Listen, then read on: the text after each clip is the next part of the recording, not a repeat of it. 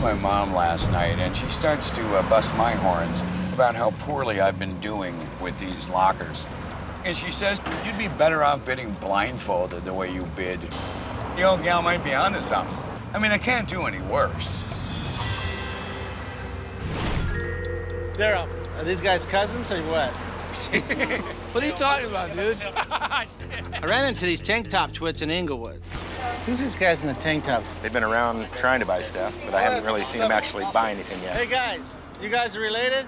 Oh, God. it might be, you know. We're gonna have a tank top tournament today.